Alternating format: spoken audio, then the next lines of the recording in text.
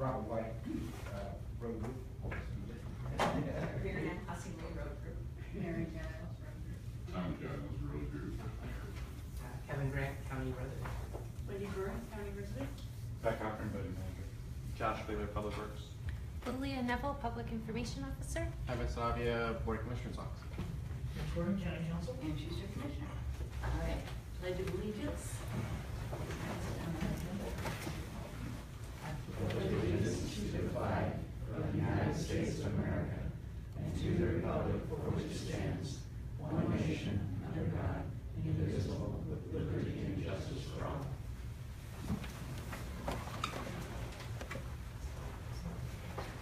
Are there any announcements?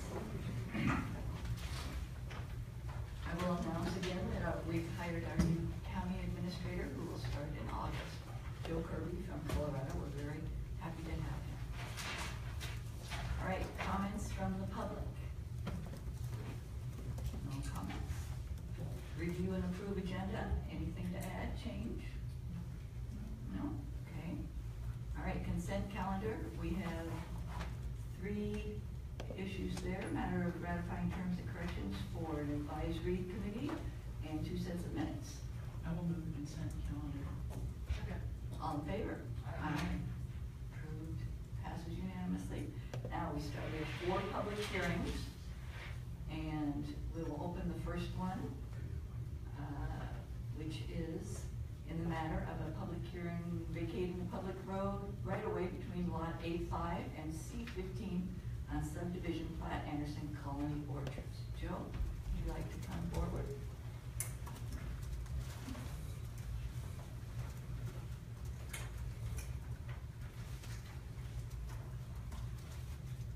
The right-of-way uh, in question is a portion of a, of a road that had been vacated a long time ago. Actually went through the original subdivision plat, quite old. And uh, this is a remnant of that old road. And of course, this portion of the road is in a uh, spot where it's very dangerous. It's, uh, um, comes to the intersection of two uh, roads, Alpine Cutoff Road and Alpine Road. And the county, uh, Leslie does not want anybody to use that, that right away. And the landowners who are to the east of this uh, portion of the road actually has a shed built in it already. And, uh, they're going to do a lot line adjustment with their neighbor, and so part of the, um, process is that, uh, we vacate the road that will vest the whole portion, um, to them. And the neighbor to the west is agreeable to that, so that's uh, where we are with the. You don't have to move your shed. No. Okay, any questions? When, uh, when was that road ever used? It's never been used. I didn't Um, think It so. just, uh, um, there was no need, uh, for the, uh, the road, uh, people have vacated or, or actually proportioned and, and, uh, parceled up the old, uh, plat, rearranged it a little bit, so they created other ways out of the property. Um, so, um, that's probably over years, they vacated the road. I think they wanted to leave access for this portion, but Benton County, um, a few years back, did a partition plat and made, made it so the access was further away from that intersection, so it was a lot safer. Safer. So, And so this is little piece was never ever developed into a road. No, not that little portion. No, it's- it's just It- been I've shown been on there, that. I've been there, it's, uh, it's really steep there. Can you never get find around it? Yeah. There's a ditch there and everything. but, yeah. Can't do it. Okay, is there any public testimony? All right, we will close that part of the hearing and any deliberation? No? How about a motion? Oh, we have to. Good. Good, good. I move pursuant to ORS three six nine point three two six to three six eight point three four one to vacate a public road right of way between lot A five and C fifteen, as shown on subdivision plat Anderson Colony Orchards, as described in exhibit A. Second. All in favor? Aye. Passes unanimously. I, I will also add on that, that when Public Works has no objection to vacating public road, you know, we don't need it because they never, ever like to give up property. This must be really steep. All right, so so we will close that hearing and open the next one, which is on the matter of ordering withdrawal of territory from Philomath Fire and Rescue District. Joe? As, uh, we probably have discussed, is the Barton, uh, had noticed on their, uh, tax statements that they had been in the, uh, Philomath Rural Fire Protection District. I kind of looked up, I wanted to see what was going on there, and, uh, the, uh, when they annexed the fire district, and they, they drew the lines with, probably owners with, the you know, the owners were involved, and they created boundaries like this, and they- but they were large chunks of land when they were creating the fire district, so they left a nice straight line. So they said, okay, we'll put it right here. Of course, uh, over time, um, there was an anticipation of Wooded Knolls would probably connect up in that area, but we haven't done that quite yet. Um, I think there's an anticipation of connecting those roads, but it's gonna be a long, uh, gonna cost a lot of money, and it's been a long, long time to build the county road standards. Um, a fire truck would probably go up there right now, so the better way is to go on Cor- Corvallis, uh, fire station, uh, rather than the Philomath Fire Station. The Philomath Fire Station is twice as far as, uh, Columbus, they would have to go, go, um, all the way around, and so it's a lot better for the, uh, the Bartons to have, uh, uh, Corvallis, be in the Corvallis Rural Fire Protection District. And that's why we, we're doing it at the same time, because we've got to get them out of one and get them into the other. So can we do this then? You Can't do the public hearings at the same time, but for all intents and purposes, it occurs simultaneously. Okay. You will sign the orders on the same day. Okay, okay. So, uh, is there any public testimony? No, all right, we will close that hearing. Any deliberation or, Seems simple enough. okay? I'll move to approve the order to annex territory into Corvallis Rural Fire Protection District as described in the thing. We have to- we have to vacate first, don't we? You withdraw. We have to Oh, withdraw I first. got the wrong one. I move to approve the order to withdraw a territory. Thank you. Or with Fire Rescue District as described in Exhibit A. And you can do that. Yeah, I'll second that motion. All right, all in favor? Aye. Passes unanimously. Right, we'll order. My document uh, identifiers aren't up, so I can't tell which one I'm on. All right, now we will, uh, take up the third hearing, which is the matter of ordering annexation of territory into the Corvallis Rural Fire Protection District. And you've already. Same, same piece of property, they'll get a better benefit for fire protection, um, especially the neighboring, uh, area right there, the Chinook, uh, Road District is all- was all in. And, uh, the Bartons got put in the, uh, the road district back in the eighties, um, late eighties. So, uh, I think they built their house in the late eighties too, so that's, when you have a, a building, you wanna have fire protection, so when they bought the land, for the, for the building, so there was no reason to worry about it. Just, um, the assessor will have no problem changing which fire district is responsible. um, I sent the board so. So, we get to it by orders, they get July 1st, should be no get the other one. Okay. So, do the withdrawal, go to the withdrawal first, and then annexation next, and that'll keep it in order. And they've changed insurance, uh, and anything like that, you know? Well, the part, it's up to the landowner to check with their insurance company, of course, and if they're getting, um, better fire protection, And that's it's a good deal. closer, yeah. Is, is to check, um, so I will send them the when, when they get recorded, so they have these in their file, so they can prove to the, to the insurance company, you know, then later on, their tax statements will reflect, uh, being in the other fire district. Right? That's where the assessor comes in, I'll send them a copy too. Okay, is there anyone willing, to- interested in testifying about this issue? No? All right, well, we'll close this public hearing and, Now I'll make that motion. all right. I'll move to approve the order to annex territory into the Corvallis Rural Fire Protection District as described in Exhibit A. Second. All in favor? Aye. Aye, opposed, uh, passes unanimously.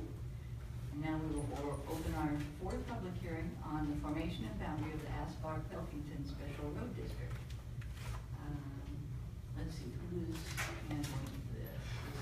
It'll be myself and we've got Dave Malone, Chip Morris, and Josh Wood to answer questions as they come up.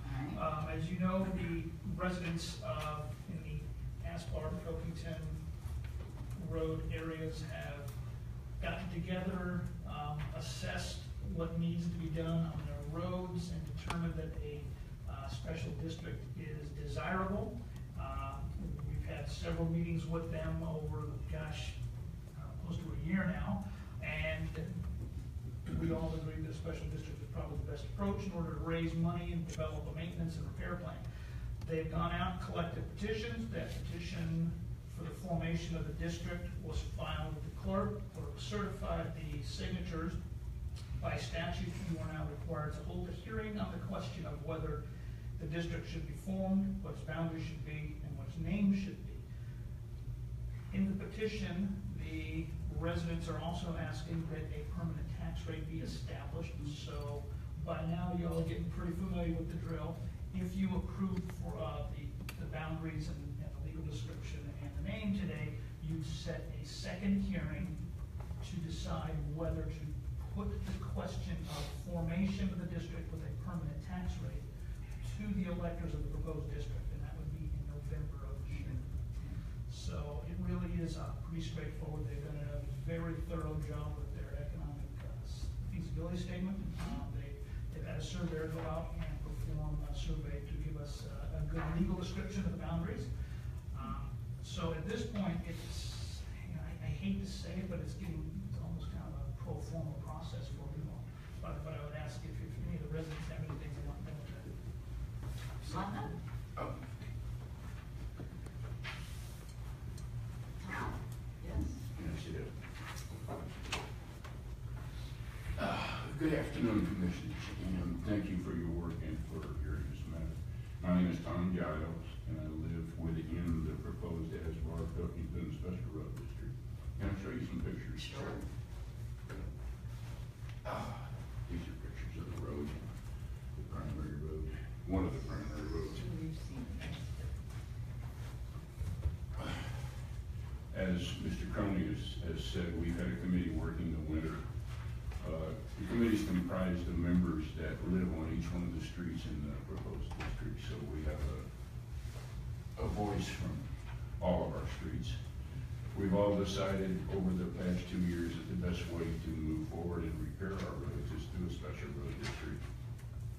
And I'll tell you, we worked very hard to get to where we're at, and we feel like we're kind of on the down path to getting it done. So we're happy to answer any questions you have and and appreciate your help on making this happen. How how many houses are in the, will be in the district?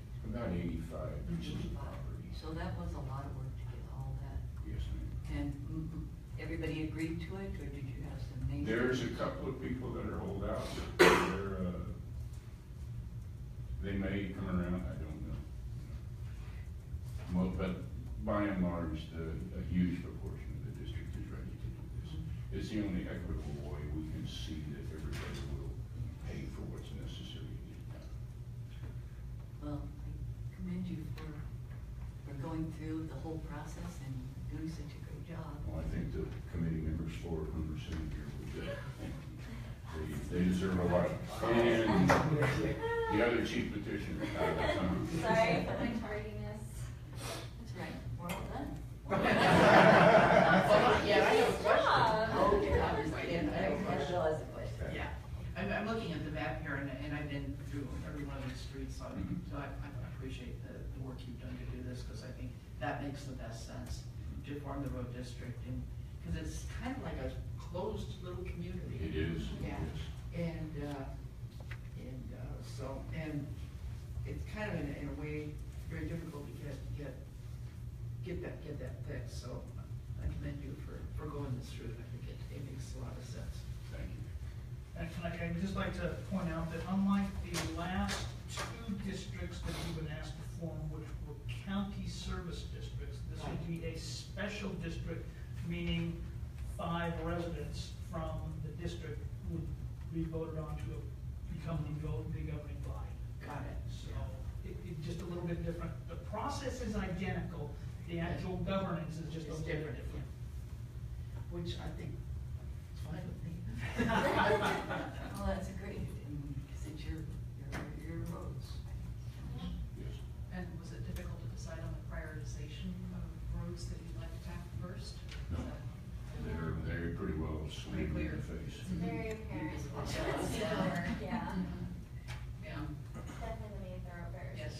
Yeah, traffic. yeah, on Asbury itself. In Wilmington. Mhm. Great. Well, thank you for putting in the effort to make this happen. Thank you. Is there any other public testimony? No? Thumbs up? All right, so we will close this public hearing and need deliberation. I'll make a motion. I'll move to adopt the order approving the petition for the formation of the Asbar Special Road District. Second. All in favor? Aye. Passes unanimously. Okay, so part of the order that you approved sets the next hearing date at July 18, right here at noon. Um, And that will be for consideration of the permanent uh, tax rate. If you vote to approve that, then you will be forwarding that to the voters for the May something or other, 2017. November. Excuse me, November. Yeah, we'll go back in time and do it again. No, November. And then we'll- I'm assuming, Yes. I'm assuming the, rep- the, the, the group will suggest a tax rate. Oh, uh, They already have. They already have, they already have. Okay. Okay, any other business? Thank you, guys. Thank you. Thank you. All right, so, Yes. And. Thank you for coming. Annabelle, we, they will be asking for a three dollar thousand.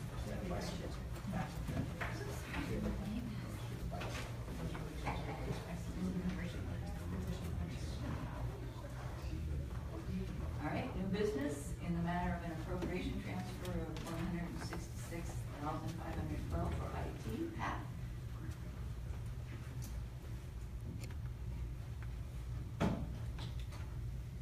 Pat Cochran, Budget Manager. This is um, one of the year biennium and cleanup items that we need to do to adjust appropriations. This is in the internal, intergovernmental services fund cost center that deals with PC replacement and Microsoft licensing for all of our countywide products. Um, Because we've had a lot of staff uh, growth, particularly in the health center, this year we purchased a lot of additional equipment and had more licenses, uh, because part of the LC and Sweet Home site openings. And so that's caused, uh, expenditures to exceed appropriation.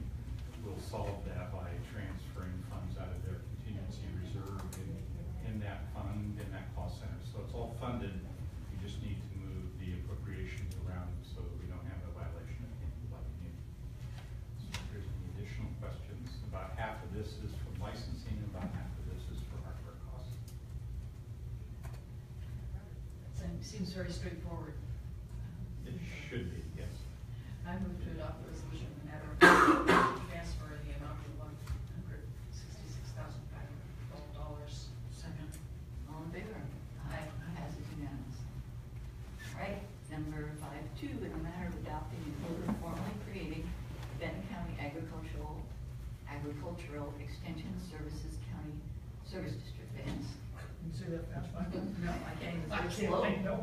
Don't turn it into an acronym, please. I don't know if we can. Um, the state statute, um, and as Joe Morris and I have bemoaned over the years, the process for establishing county service districts, special districts, is incredibly convoluted and redundant. This, to me, is exhibit A for the redundancy in statutes. The voters approved formation of the extension service district on May sixteenth. Yet the statute requires you to say it's okay to form it, even though you sent the question to the voters and the voters approved it. So this is merely a, a technicality uh, to comply with the statute. The, the, it does carry the importance of, once you vote to approve the order establishing the district, it is now live. It's a, it's a, What do you think, two of us? What would happen if what? I said, what would happen if a board said no? You know, I guess it nobody even know the difference.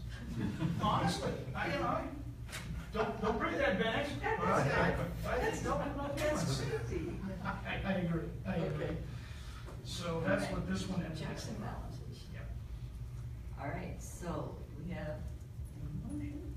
I move to adopt the order creating the Benton County Agricultural Extension Services County Service District. Second. All in favor? Aye. All right, passes unanimously. All right, in the matter of adopting and order formally creating the Hidden Valley Water Supply County Service District, Van.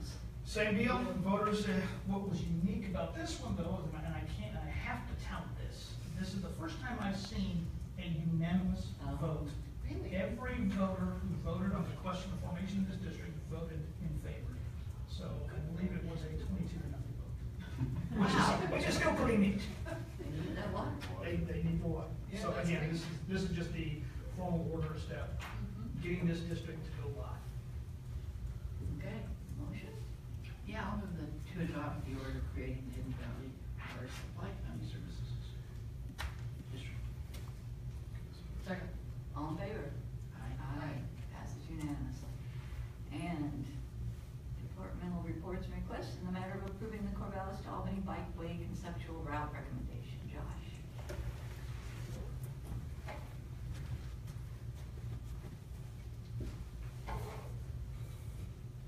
So a couple, a couple weeks ago, I uh, spoke to you about the recommendation from the stakeholder committee to proceed to phase three of the uh, bikeway uh, research here that we've been doing and uh, analysis. Uh, That phase three, if approved today, um, would start um, shortly after this with a lot of technical analysis. Um, we have a conceptual route location, now we would do some tech, technical analysis on that location. We would do that from now through about October. Um, we would also start some conversations at the end of that period with landowners, once we had some information to talk to them about. Um, and then we would do a community engagement process from October of this year through March of this year.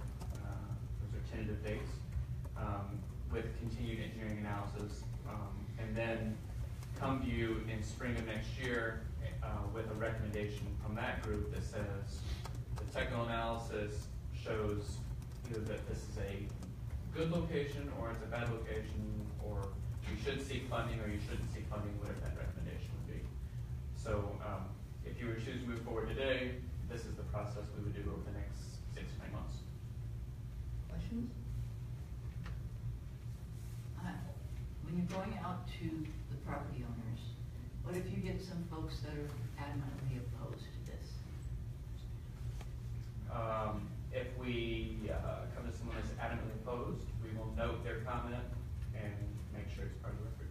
Okay? And we would still have to come back and, and discuss it. uh, Absolutely. Yeah. Yep. Yeah, and we will make sure that we talk to every property owner that is either directly impacted, meaning, you know, crosses their driveway, uh, we need a small bit of right of way, wh- whatever the case may be, or that, uh, is adjacent to them, adjacent to their property, but maybe it has zero direct impacts, but it is directly adjacent to their property, and we'll also be talking to them as well. So who So- is going to be conducting the landowner outreach? Will it be staff or will it be the contractor? Staff. Excellent. Yeah, yeah, the, the public process, uh, engagement, that will be through the consultant, but the one-on-one conversations will be staff, uh, more than likely me and Lori. And you will have a new stakeholder group. Yes, that community engagement Do process. you know who's going to be on that yet? I mean, No, that's something that we'll discuss over the next few months and reach out to people. we agree to. Yeah, yeah, the goal would be to put members on, um, uh, from law enforcement, uh, from a safety perspective, those things. Um, but also a, um, uh, specific landowners that are, would be either directly or indirectly impacted. When you talk about public, public safety invo- involvement, I'm assuming that's county public safety, but does the state get involved in that too? Because it is a state highway. Uh, Where we're right. adjacent, like, The, they don't because the county, is the one that controls that highway, uh, for them. And so it's really, they're the ones that would be there when, when needed. Going underneath the highway, does that take ODOT uh, approval, I assume? and- Yes. and- Yep, and that, part of that discussion between June and October would be with, uh, ODOT to say, okay, what's possible, what are you gonna allow? They're already aware of the possibility, right? of- Absolutely. Yeah. Yeah, because they were part of the stakeholder group, so they know what the path is, as the central location. The biggest stakeholder that has not really been involved so far is the railroad, correct? Correct. And they But the- not. But this proposed route does not, um, it is much, Yeah, much less effect on the railroad right away than any of the. correct, yeah. Reconstructed. There is a portion that may affect railroad right away and is a discussion between ODOT and the railroad going, okay, can we adjust some right of way lines by five feet here or there or something like that? They do that through their railroad But division. ODOT has a rail division, and Yes. so that's where Yeah. that discussion would happen. They will Yeah. be the mediating force. Yes. Okay. All right, just any downsides to? Um, no, I think, uh, there's only upsides in this case because it will absolutely tell us whether or not we should proceed seeking funding for this. Or it will tell us, um, that we shouldn't and therefore we did, we made every effort to connect the two cities, but there wasn't a path in detail that we could do. Um, Conceptual, we found general, uh, majority support for the conceptual location, now we gotta look at the specifics and go, okay, is this fully realistic and what is the cost? So, so if this, if this were to come to pass, say, say that we want to apply for money, would that go Cascade West Area Commission on Transportation, and then the OTC? How does that Uh, work? Ultimately, yes, so, um, since this path would be in the right of way, it would, uh, we would apply for some form of STIP funding. Um, not Connect Oregon in this case, because that would be outside the right of way, this would be That's right. in right of way, so we would be going for STIP funding instead. And, um, uh, that process gets vetted through the local act, the Area Commission on Transportation, which then gets forwarded to the Super Act, which is all the acts together, and then also the OTC for adoption. And OTC is. Oregon Oregon Transportation Commission. Okay.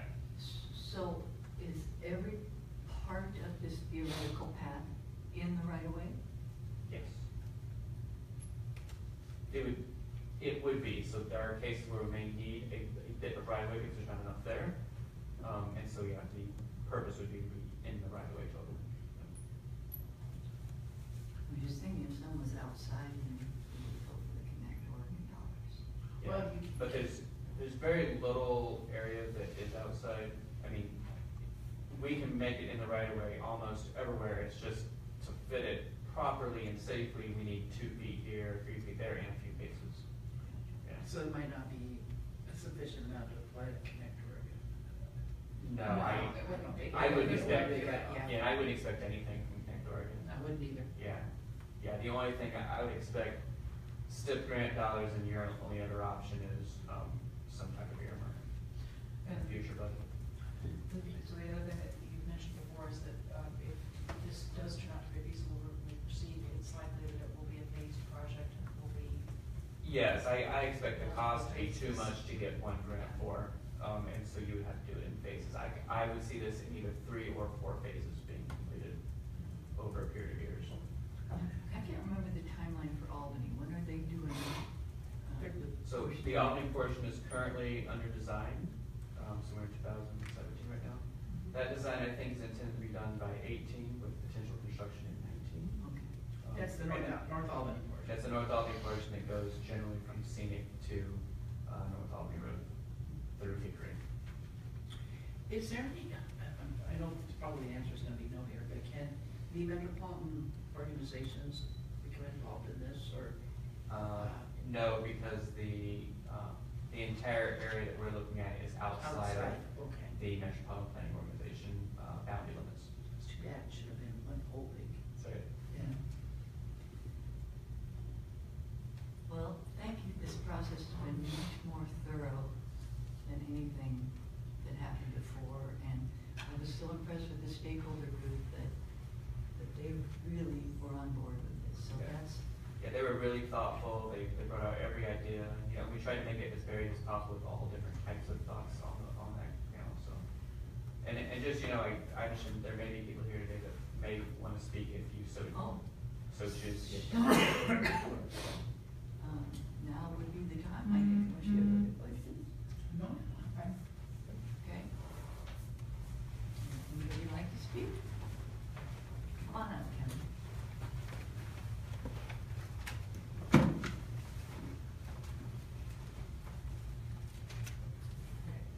Thank you, Chair, Commissioners, and Council. Uh, my name is Kevin Grant with the twenty-two hundred Northwest Twelfth Street here in Corvallis. I was one of the Bikeway Advisory Group members. Uh, I commute from North Corvallis to downtown Albany on a fairly regular basis, either by bus or bike.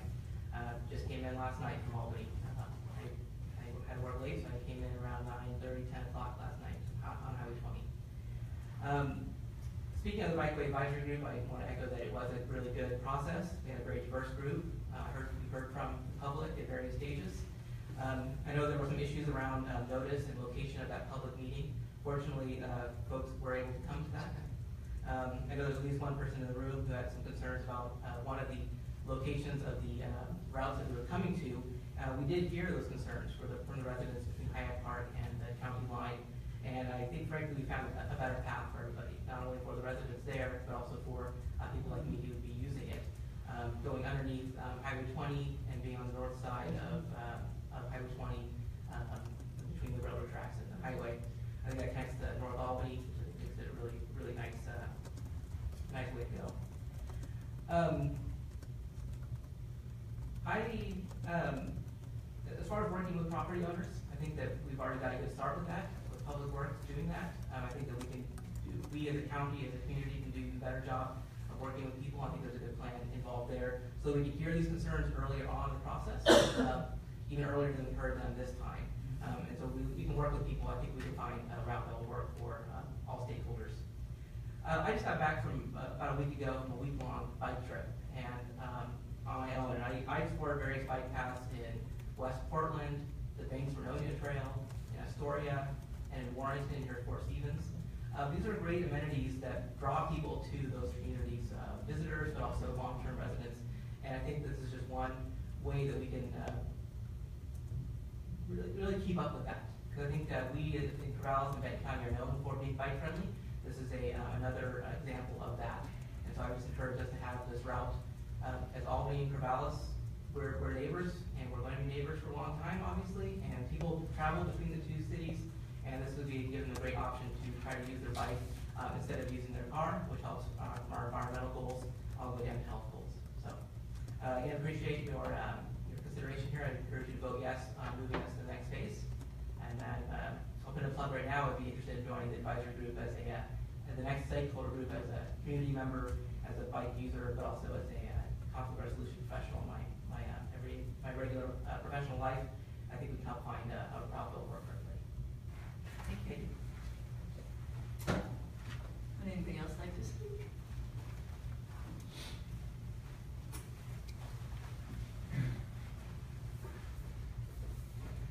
My name's Matt Valentine, I'm a resident on Highway twenty between, between Hyde Park and Albany. And, uh, I guess I wanted to thank the advisory group and thank you guys. Um, I definitely had some concerns throughout this process, and I feel that my concerns, you guys were receptive, uh, to our concerns. And then if, if you guys do move forward with this, just urge you guys, I know, uh, Mr. Wheeler said that he would, to really engage the landowners, um, from the beginning. I think there was definitely, uh, an impression that maybe they, uh, that their views weren't being adequately addressed from the beginning, beginning of this project. So just, just urge, um, those involved to, uh, to really work closely with the landowners and make sure that there, there's full transparency with this process. Thank you guys. Absolutely. Thank you. Anybody else? Okay. Any more discussion, deliberation, questions? All right. Do we have a motion? I move to direct staff to continue on to phase three of the project using the amended Highway twenty, replace the rural route, uh, that we didn't discuss today, into the transportation systems plan, and appropriate, uh, fifty-nine thousand seven hundred eighty dollars and thirty-eight cents. For the use of party and work with the, their consultants in the process. Don't go over that thirty-eight days. I'll second it. All in favor? Aye. Passes unanimously. All right. So that is it for our agenda, unless there's something else, no, you'd like to add? Give a, all right, so we are adjourned. I do. Yeah, Matt Valentine. Wait for, wait for, um, yeah, you can hear people, and I think you share. More pictures.